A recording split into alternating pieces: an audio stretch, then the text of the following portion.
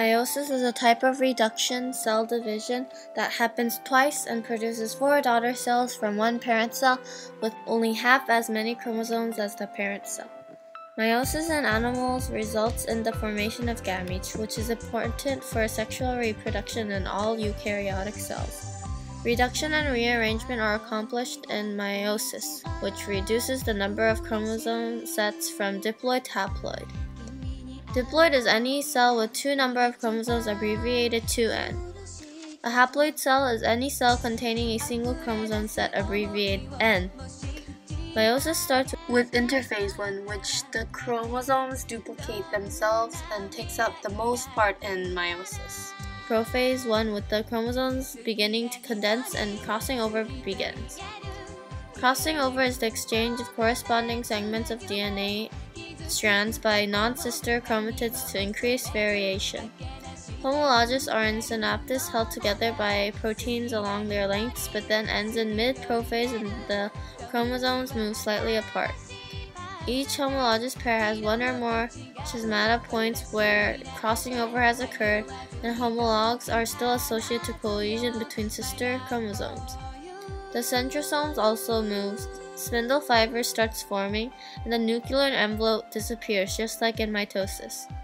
Microtubules from one pole attach to kinetochores, the protein structures at the centromeres as they move towards the metaphase plate.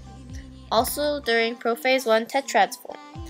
Metaphase begins with the pair of homologous chromosomes are arranging at the metaphase. Then, both chromatids of one homolog are attached to a kinetochore microtubule from one pole, and the other chromatid is attached to the opposite pole. Anaphase starts with the breakdown of proteins for sister chromatid cohesion, and the two chromatids separate by going to opposite poles guided by the spindle. Telophase and cytokinesis happens when each half of the cell has a complete haploid set of replicated chromosomes. Cytokinesis usually occurs with telophase, forming two haploid daughter cells. This is the end of meiosis 1, which separates homologous chromosomes. Meiosis 2 separates sister chromatids from each other and ultimately leads to reduction and rearrangement. During prophase 2, a spindle forms and the chromosomes move to the metaphase plate. Metaphase starts when chromosomes are arranged on the plate, but because of crossing over in meiosis 1, the two chromatids of each chromosome are not identical. The kinetochore are attached to microtubes from each side. During anaphase 2, breakdown of proteins holding sister chromatids together at the centromere allows the chromatids to separate going opposite directions.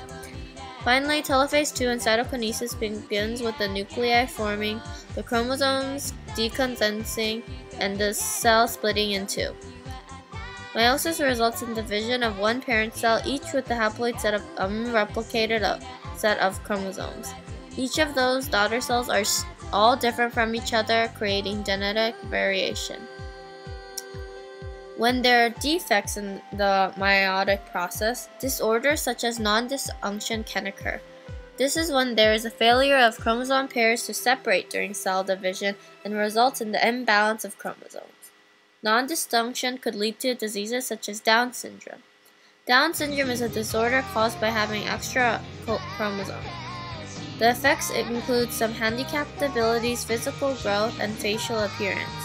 So basically, people with this disease seem to have mild to moderate retardations. This can result from a defect in meiosis when the separation of chromosome fails. This is why having four daughter cells that are haploid is important.